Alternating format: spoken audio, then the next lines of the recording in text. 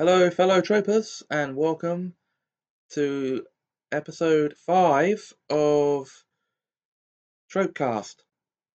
And now we move on to we move on to a B trope in this section, and the trope I've chosen to cover for the letter B is Blitz Evacuee, and this is part one of that. Now there are eight examples within this trope. So there'll be two used per episode here. And we start, as ever, with anime and manga. In Barefoot Gen, Japanese children are sent off to the countryside so they won't be threatened by bombing. Akira, the only one of Na- Naka- Nakaoka's children selected for evacuation, decides to sneak back to Hiroshima, and his family has trouble persuading him to return to where the food is no better and other irritations are worse. For all their hardships, at least the children sent away survive the war. Many of their relatives don't. And for this episode, we're going to end on live action films. Here we go. Spoilers ahead. The 2015 horror film The Woman in Black Angel of Death features a group of children evacuated to an old dark house where they encounter the titular Woman in Black, a vengeful spirit from the late 1800s who kills children whenever she is seen. In retrospect, they really should have taken their chances with the Luftwaffe. Bedknobs and Broomstick uses the honest family, the host family is magic example to start the plot. Three kids orphaned in the Blitz are sent to the country and find out they're living with a witch in training. Incidentally, the movie star, Angela Lansbury, was a Blitz evacuee herself. The Limey Goes to Hollywood version. In Nanny McPhee Returns, the cousins sent to live on the farm are refugees from London during World War One. What? It's clearly said during the 1940s. Discussed in Battle of Britain, where one pilot reading mail from home is irritated to learn that after going through considerable trouble to get his family moved into the country, his wife is writing to complain that she's bored and wishes to return to London. And finally, for all you Japanese fans out there, Memoirs of a Geisha.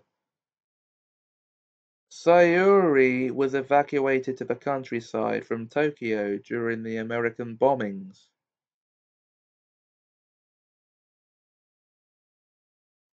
Okay, we're going to have to use another example here to fill out the time.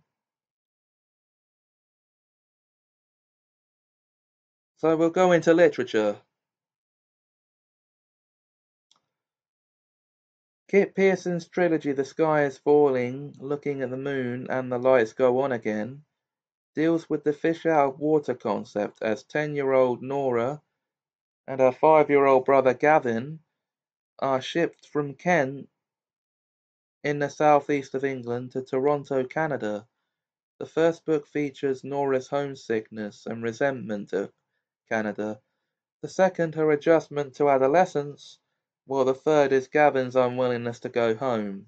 Blank.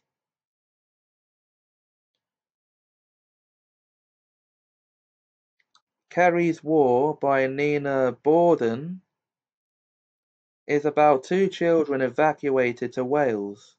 Lord of the Flies a very, uh, very cruelly combines the first two types. While being evacuated from World War Three, World War Three, the kid's plane crashes and the pilot dies, leaving them to explore the island paradise, an island paradise without adults. Neverland much?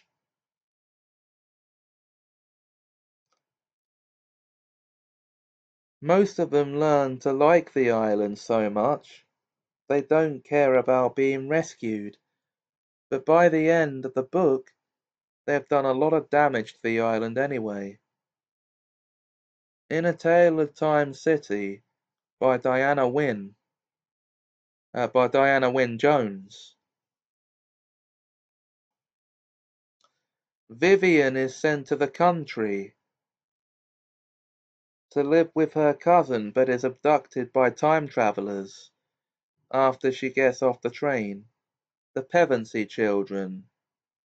In C.S. Lewis's The Lion, the Witch, and the Wardrobe go to live with a professor they've never met. His mansion contains the wardrobe that they discover leads to Narnia.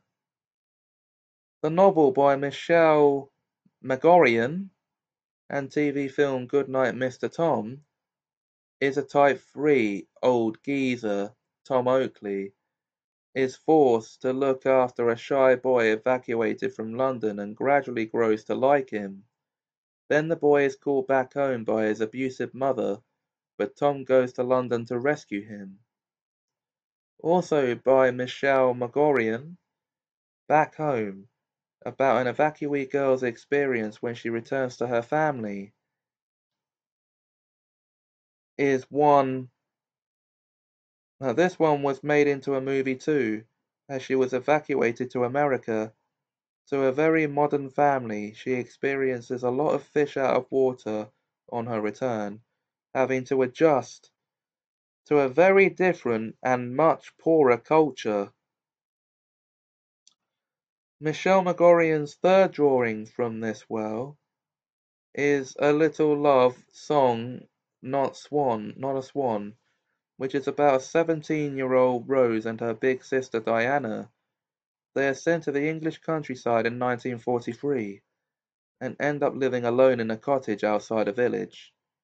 Although at 18, aren't they really old enough to look after themselves?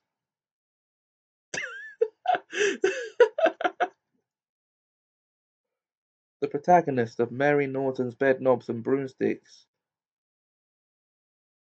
Broomstick and as a result of its Disney adaptation see above.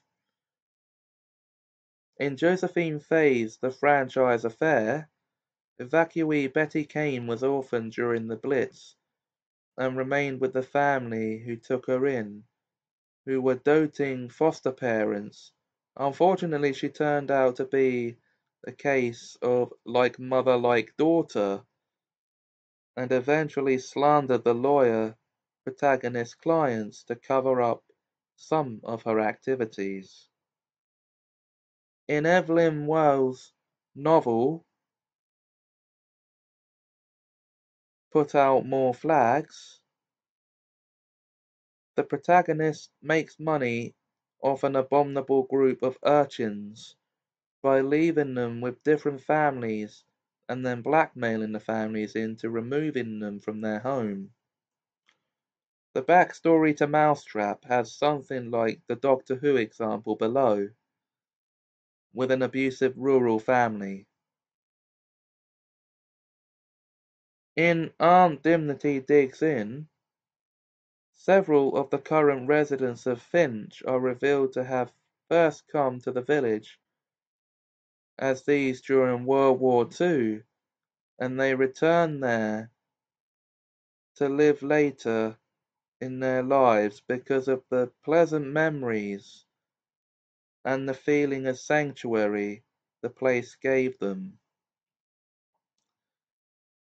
The children's fantasy novel Drift House gives this as mod give this a modern upgrade. Instead of being sent from London during World War II, the kid heroes come from New York City directly post 9/11.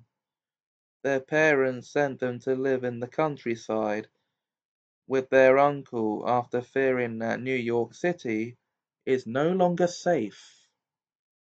Terry Pratchett's Johnny and the Bomb features one who's having trouble adapting to small town life complains, erroneously of course, about the fact that the milk there seems to come out of the cow's bum.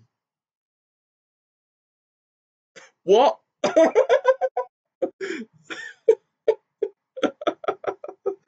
what have I just read?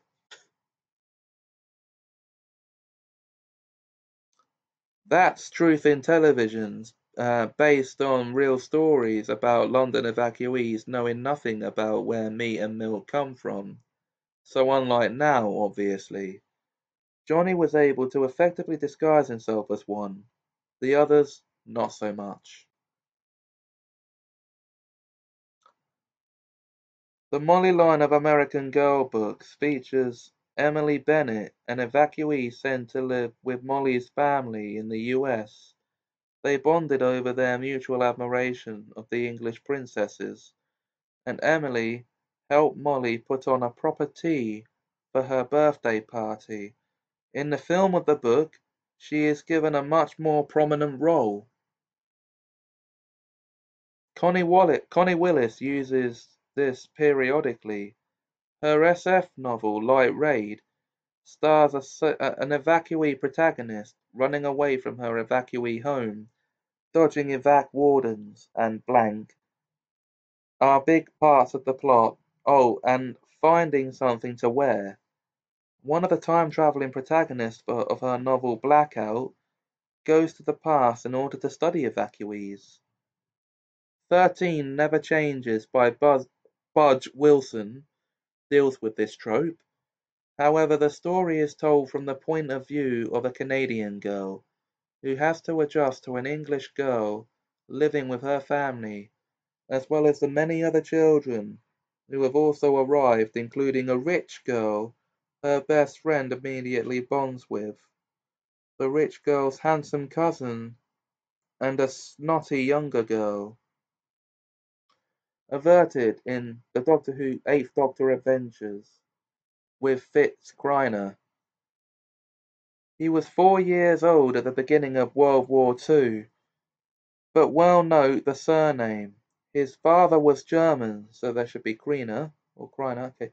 His parents sensibly realized the second variant of this trope was almost inevitable, so he stayed in London. Unfortunately, there were still more than enough other kids left in London to see to it that he got a pretty awful time of it. Yes, because thanks to the Nazis, the Germans were responsible for the war.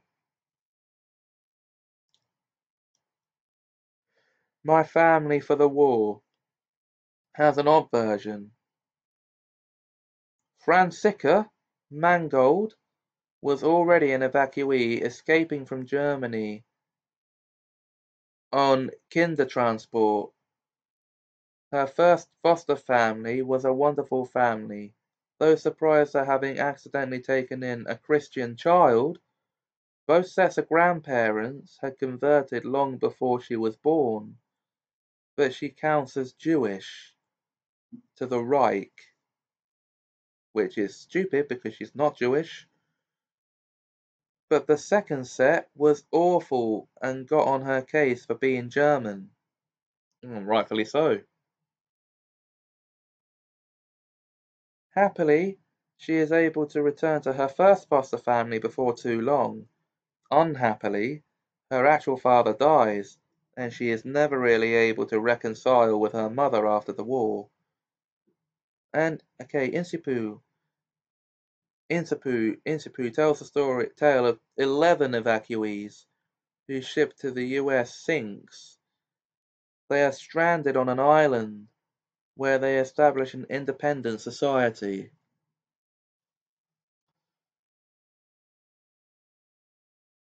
Okay, now this will now be a two-parter rather than a four-parter.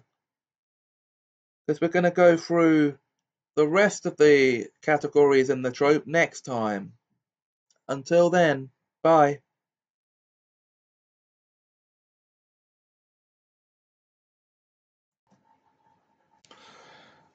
Hello, fellow tropers, and welcome to episode 6 of Tropecast.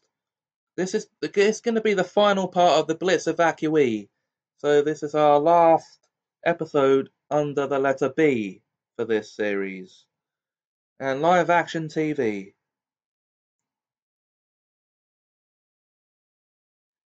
Mrs. Slocombe of Are You Being Served continually mentions having been a land girl during the war. However, she's always very vague about exactly how old she was when it happened. Her experience is elaborated upon when the cast retire to the country in Grace and Favor. Call the Midwife references this form that this from time to time. Since it is said in the set in the mid 1950s East London is never directly shown, but some popular residents reference being evacuated. Doctor Who has used this a few times. In the original series, the seventh Doctor story, The Curse of Fenric,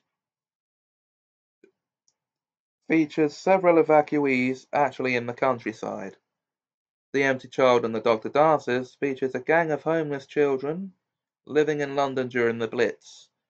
At least some of them are evacuees who then ran away from their host families, though others may be orphans. Abuse is implied. The Doctor, the Widow, and the Wardrobe features a mum and her two kids getting sent out to an old mansion where the Doctor plays caretaker The BBC reality television programme Evacuation was all about this, taking a group of modern day children and putting them into the situation the evacuees faced. Also seen on Foyle's War, one episode plays with version 2. The young evacuee is unhappy, but more because he's been separated from his family and the life he is known and familiar, and not because of any abuse. The mother and father of the family who had taken him in aren't exactly welcoming, but they aren't actually abusive either, and the daughter tries hard to make him feel welcome and cared for without success, partly because she herself is lonely, trapped, and miserable in this family and thought, erroneously, that the experience would be something like version 3, which we can't read because there's a blank space there.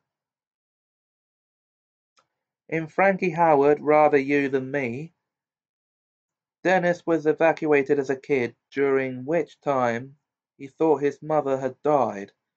It wasn't until after the war that he found out that she was alive and that she wanted him to believe she was dead because she ran off with another man. Bitch! Abandoning your child like that. Horrible Histories has a sketch that recounts the real life descriptions that evacuees gave of things they encountered in the country, like cows, as if it were a trailer for a horror movie. The BBC Schools programme Look and Read had a storyline called Spy Watch about a group of evacuees who suspect there's a Nazi spy in the village. The framing story was about one of the evacuees returning to the village in the present day and helping create a World War II display for the local library. Mulberry, a BBC fantasy series featured Bert and Alice Finch who had come to the manor that is the setting decades ago as a pair of evacuated Cockney children, and ended up settling in for life and marrying each other. Uh, brother and sister marrying each other, incest people, Torchwood. As an elderly man with a London accent living in Wales, he was sent there during the Second World War when he and when his family died, his Welsh foster home adopted him.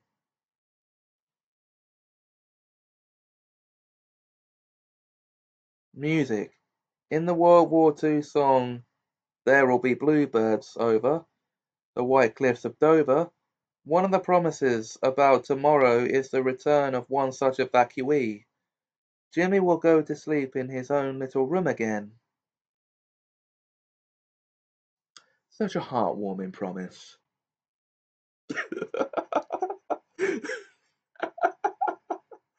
okay.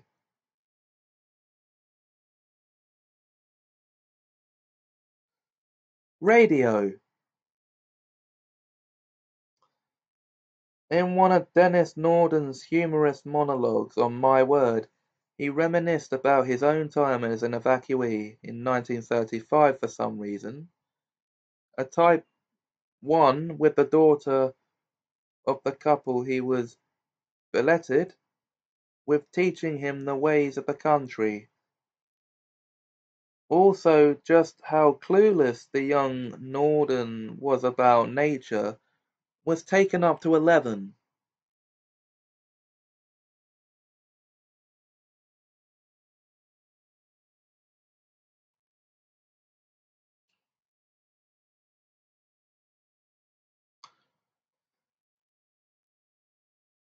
Oh, look, Annie! I cried joyously. Is that what they call wild honeysuckle? Nay, she'd answer. Is it a climbing convolvulus? Or convolvulus? Nay, lad. What is it then? It's a goat. Okay, video games. In The Lost Crown, two of the ghosts Nigel encounters are brother and sister evacuees who died young and can't rest because they're still waiting for their father to return from the war. And then finally we got Real Life. Averted by the royal family, despite constant pleas from Winston Churchill's cabinet to send her daughters to Canada to escape the Blitz, Queen Elizabeth, the consort of George the Sixth,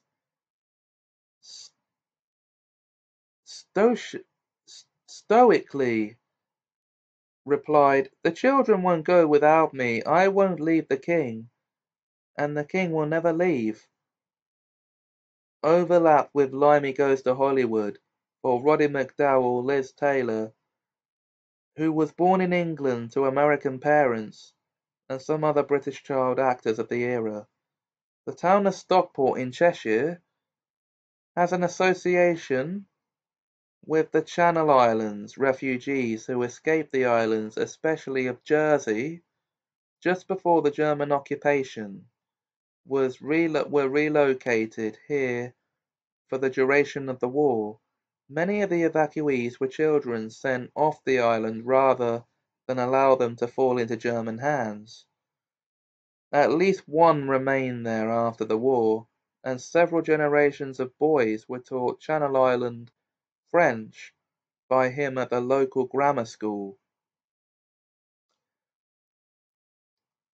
So long as the Blitz and a sustained government effort are required, the Soviets would have the British trumped at 25 million evacuees. Fictional examples alone have not been fully accounted for. The focus, however, was not on the civilian population. The priority was to take was to evacuate thousands of manufacturing plants with tens of thousands of trains worth of industrial equipment shipped east of the Ural Mountains put back into use, and the new factories built around them, sometimes in that order, the Reds with rockets and reserves, because by 1942 the Soviet industrial production took the lead from Germany and kept it throughout the war. It was done on the other side too with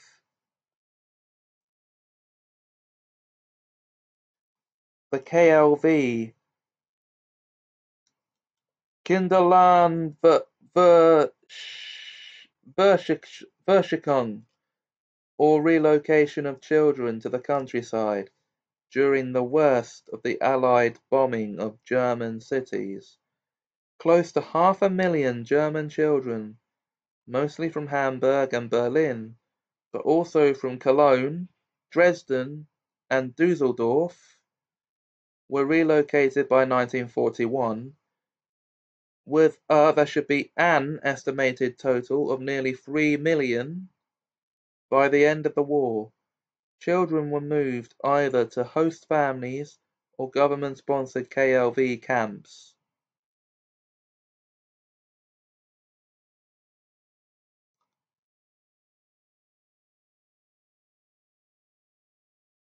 And with that, guys, I can safely say that puts an end to the B section of our beginning tropes. And we go under C. And the trope for that I'm going to choose. Well, there's only two of them and I'm going to choose the chilly reception tropes.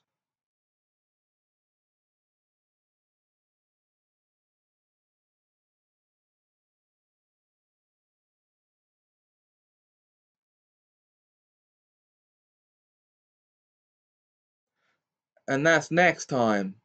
Until then, bye and welcome to episode 7 of Tropecast.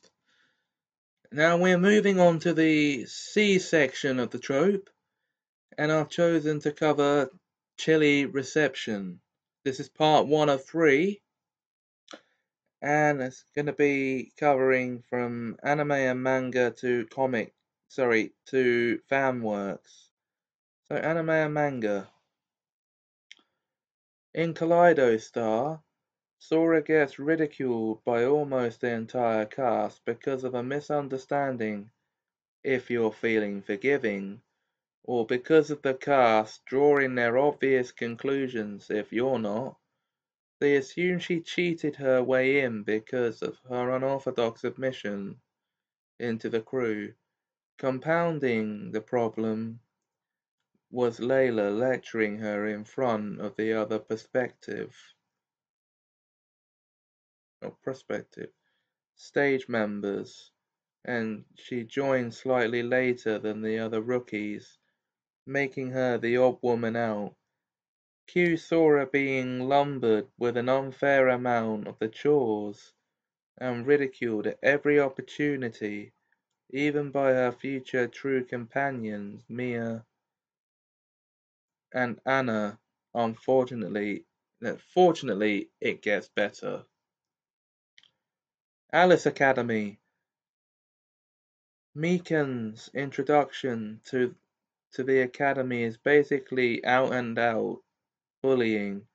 The Alice children are pretty messed up anyway, with cliquish and arrogant behavior being considered the norm, so a newcomer was always going to have a hard time fitting in.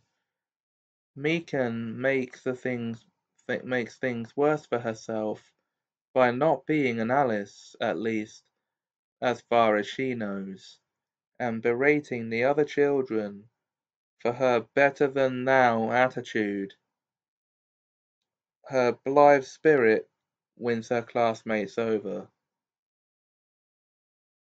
In Kyokara Mawa, uh, Moa, Yuri is not what Wolfram and Gwendal wanted in a Demon King, chosen one, or not, he doesn't have a clue about the Demon Kingdom and its politics.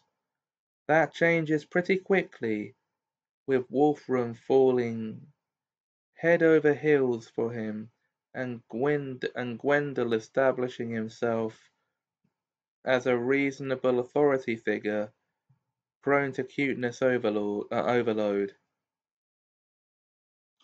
In the Sakura Wars OVA and television series, Sakura gets a chilly reception, particularly since she's a country mouse. At least Maria the then captain gives her some credit despite the straight talking and gets Sakura on stage as soon as possible.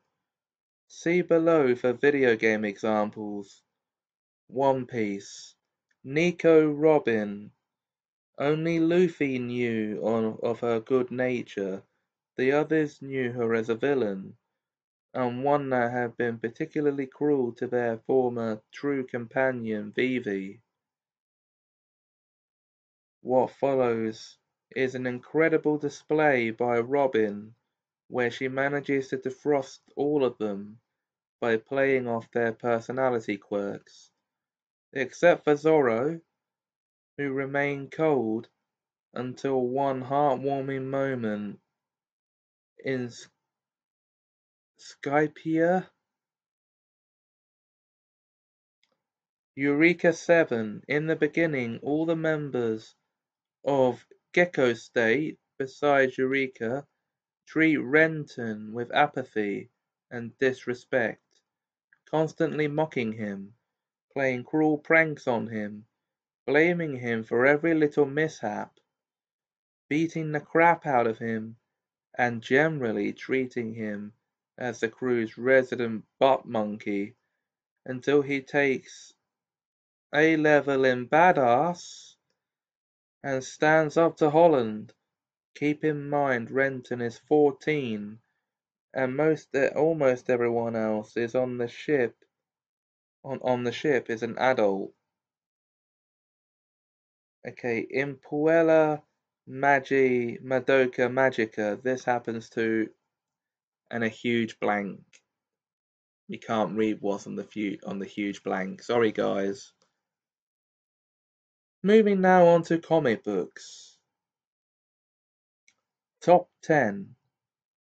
Joe Pye initially gets a cold response from some of the other cops, mostly because he's taking the place of a colleague who was killed in the line of duty. He quickly proves himself both on the streets and his new partners and with his new partner's family. Okay, FanWorks. Again, we don't have very much here. Well, My Mirror Sword and Shield. Suzaku gets this reaction twice. When he first joins the Royal Guard and later the Knights of Round. This is mostly due to racism and the assumption that he slept with Emperor Lelouch or Lelouch, uh, Lelouch to get his position. They never warm up to him and both groups end up getting dissolved when the Royal Guard is wiped out in their first battle and the Knights of Round attempt a coup.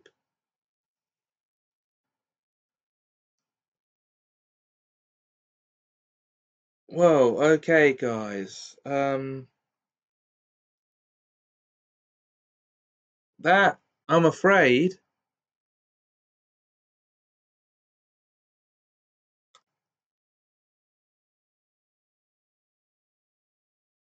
is it for this episode because I said three categories per episode because I want to keep this as a free parter.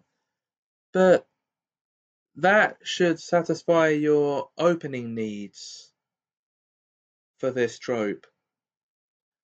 In part two, we cover the animated film to live action TV examples.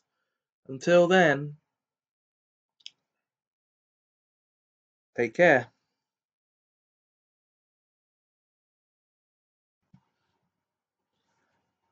Hello, uh, fellow tropers, and welcome to episode 8 of Tropecast. This is part 2 of the chilly reception trope, and we're going to be covering animated films to live action TV. Those are the categories for this episode. So let's dive straight in. Animated films Kung Fu Panda as Po admits his first few days after being declared as the Dragon Warrior were awful, with all his heroes except for Master Oogway, making it clear they hated him and wanted him gone. Of course, he starts impressing most of the five with his tireless tenacity and good cooking and humor. Shifu turned around, seeing how phenomenally quickly he is learning martial arts, and finally Tigress changed her mind after he defeated Tai Lung. Literature In the Circle of Magic books, the four protagonists are all given a hard time when they arrive at Winding Circle, resulting in their removal to Discipline Cottage. Protector of the Small by Tamora Pierce. Kel hasn't even set foot in the castle for her page training before she's being hazed, having been put on probation by her training master. Needless to say, the boys she trains with don't exactly improve matters. She makes friends and triumphs regardless. Menolly, a musician in the Dragon Riders of Pern series, is accepted by almost everybody in Harper Hall but the ones who object to her presence make her life hell.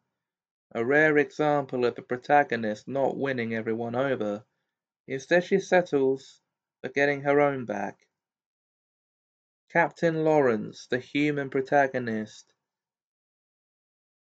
in Temeraire, in Temeraire, in, in the, of the Temeraire series, received this treatment from many of the start of his aerial corps career, for reasons ranging from his starting out in the Royal Navy to envy over him gaining the affections of a rare Chinese dragon, to his response to the friendly and well-mannered overtures of a pilot that turned out to be an abusive jerkass. Warrior Cats in a dangerous path after Graystripe is exiled from RiverClan and returns home to ThunderClan, some of the ThunderClan cats treat him coolly because of his fling with the RiverClan she-cat, Silverstream. Firecat tells him to just ignore them, and soon enough he gets treated more warmly when he exposes Darkstripe trying to murder Sorrelkit. You following me, guys?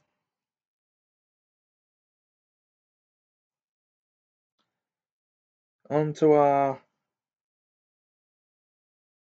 final category for this episode live action TV.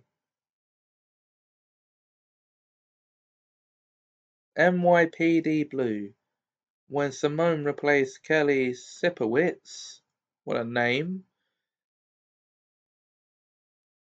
gave him an extremely cold reception. It was basically Simone.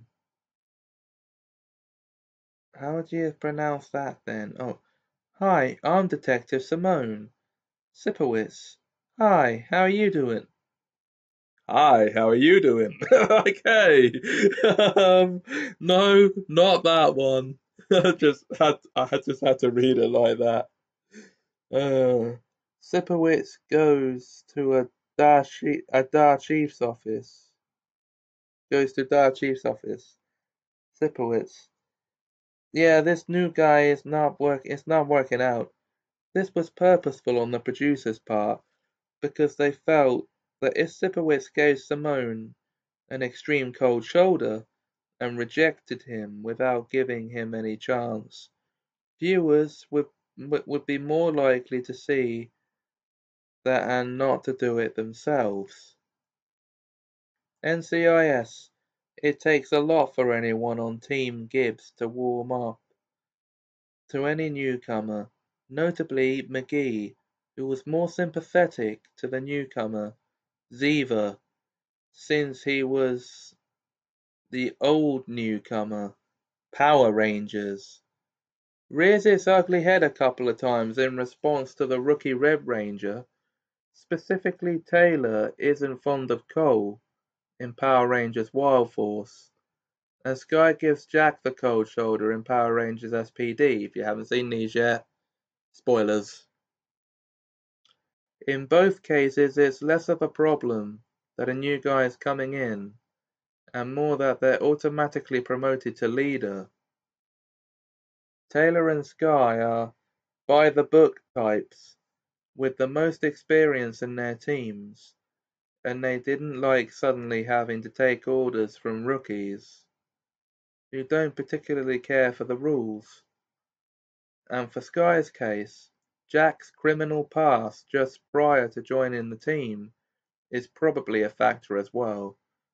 Power Rangers Time Force had a Jen being a bit cold towards had Jen being a bit cold towards Wes, partly because he was inexperienced and also his resemblance towards a deceased boyfriend.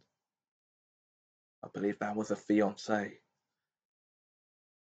Though done with a much smaller team, this trope is everywhere on The X-Files.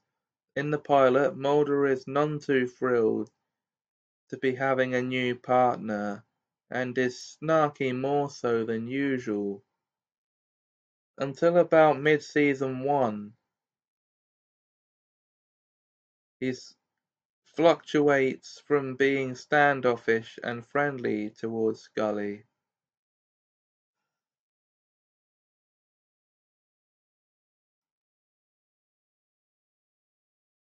And we don't need to read the script moments.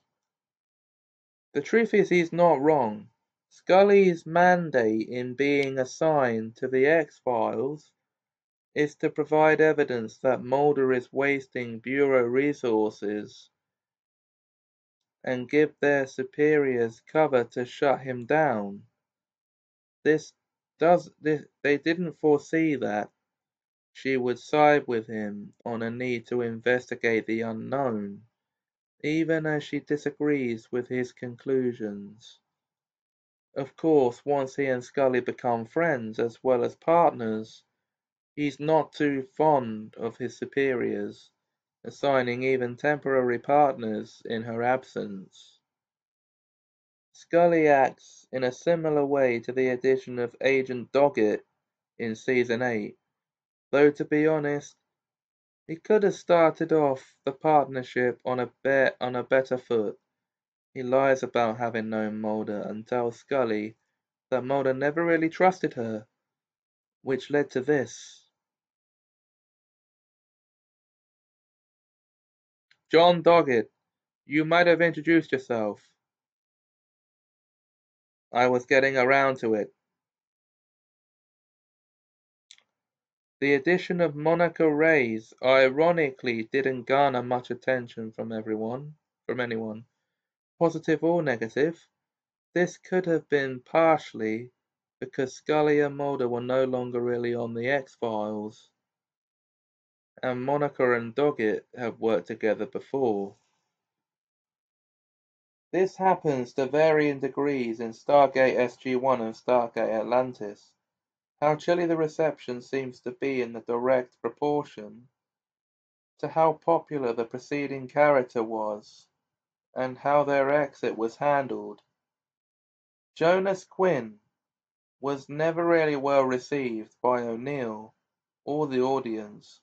Ronan Dex was loved as soon as he showed up in Atlantis. Oddly enough, even though Richard Woolsey was designed to be a shifty character, everyone got over the chilly reception pretty quick and accepted him as expedition leader.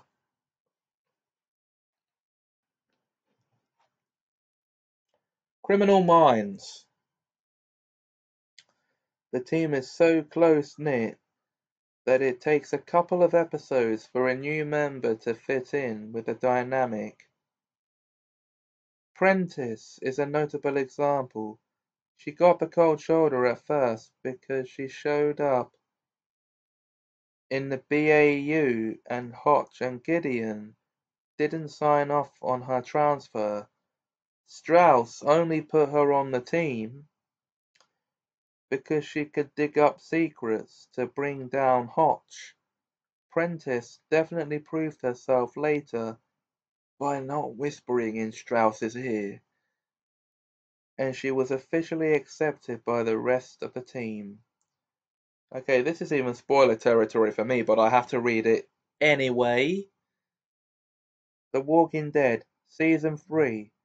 After being gone from Rick's group for nine months, Andrea figures that they'll welcome her back happily.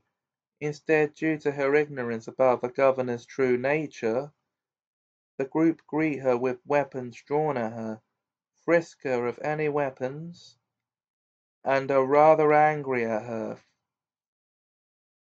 for her remaining stay at the prison. This trope is used so many times on Law and Order that it's almost expected by fans, but Law and Order Special Victims Unit is where new characters get it the worst, such as with Casey Novak's first day and both Benson and Stabler treated her like an incompetent who was constantly in their way and bungled their case. The fact that both work in sex crimes and dealing with both of them made her cry by the end of the by the end of her night makes one wonder how she stuck to the job. She didn't win their respect until she was able to locate the missing girl who was hidden in a cooler, but alive. The only other person who got it worse than her was Sonya Paxton, who from the very first day none of the characters hid their contempt for, especially Stabler, whose behaviour towards her was broadened and downright misogyny. Unlike Casey, though, she was just as antagonistic towards the division and wasn't able to prove herself, but showing up intoxicated to court and wrecking what should have been a slam dunk case after railing about how weak alcoholics are tends to undermine a person. She did eventually return a few years later, and was able to assist the detectives, but that came at too steep of a price.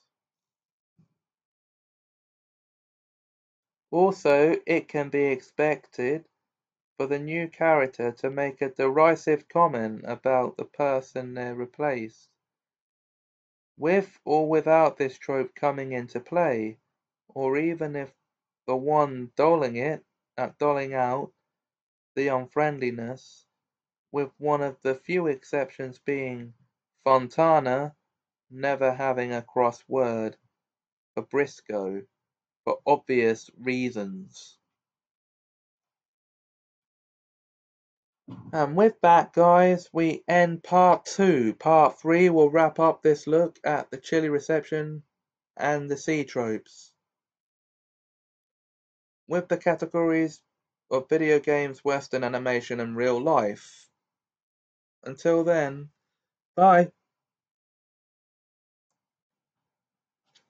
Hello, everyone. Uh, hello, fellow tropers, and welcome to episode 9 of Tropecast the show where I come on each yep in each episode and look at a trope.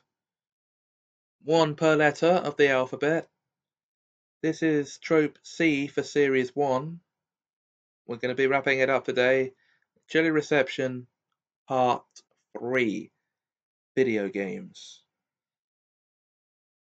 Sakura Wars. In Sakura War in Sakura Wars So Long My Love, the main male in brackets character Shinjiro Taiga gets this from the veteran members of the Star Division. They were expecting the commander of the Flower Division, not the not his rookie nephew, with qualifications, but no experience. Chiron and Sagitta, or Chiron slash Sagitta, is loudly hostile. Subaru has no time for an ineffective rookie, and seniors Ratchet and Sunnyside don't really know what to do with him. Well, Ratchet doesn't. Sunnyside might have been expecting this. This is adding insult to injury for Shinjiro. He thought he was joining the Japanese Flower Division force. Was punted across to the USA instead and was met by hostility and hazing when he got there. Of course, it's largely a dating sim, so you can guess how it all pans out. Shinjiro is actually carrying on a family tradition of chilly receptions. His prestigious uncle Ogami got much the same treatment from the flower division as a secret test of character, although Sakura, the victim of this in the anime, escaped this treatment for the games. In Halo Reach, you're informed at the beginning that you're being brought in to replace a well-liked member of the team, who the others would have preferred to honor by leaving the spot empty.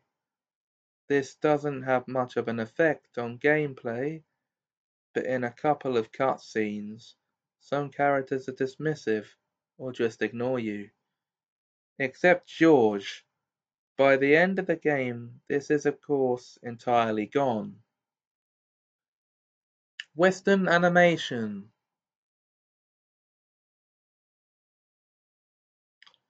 Prince Zuko is, understandably, shut down in his attempts to join the Avatar's party in Book 3 of Avatar's, uh, Avatar The Last Airbender having been an antagonist to the group for most of their travels, even after the travels have, uh, others have accepted him. It takes some time for Katara, who was personally betrayed by Zuko at the end of Book 2, to stop giving him the treatment.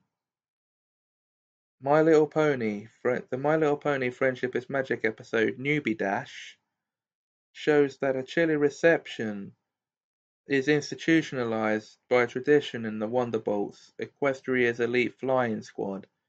Regardless of how popular the retiring Pegasus is, or how eager the Bolts are to have their new team member, every newbie is given an embarrassing nickname based on something they did on their first day, which becomes an appreciated appellation and call sign so an appropriated appellation and call sign also enforced, and given extra chores for not knowing all the flight drills right away.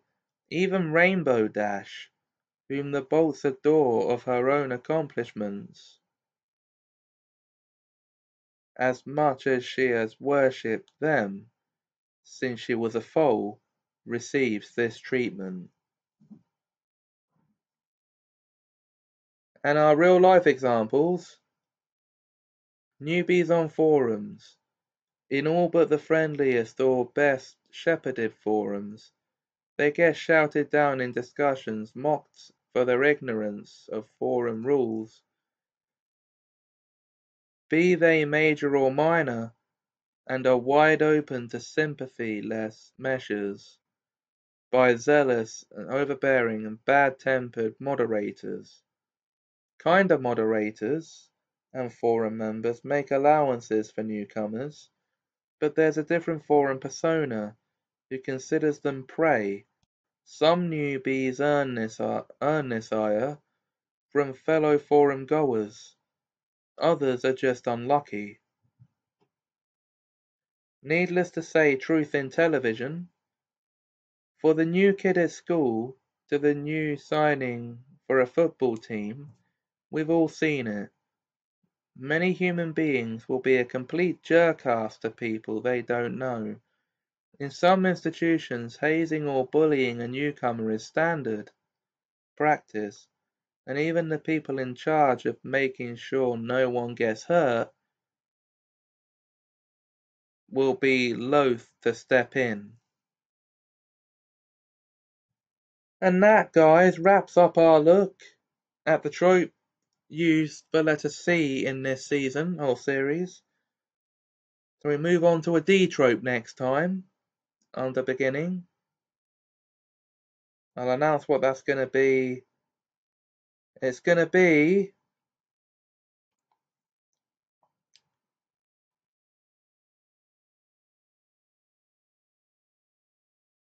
the downer beginning. So join me for that next time. Until then, or join me for the start of that next time. Until then, bye.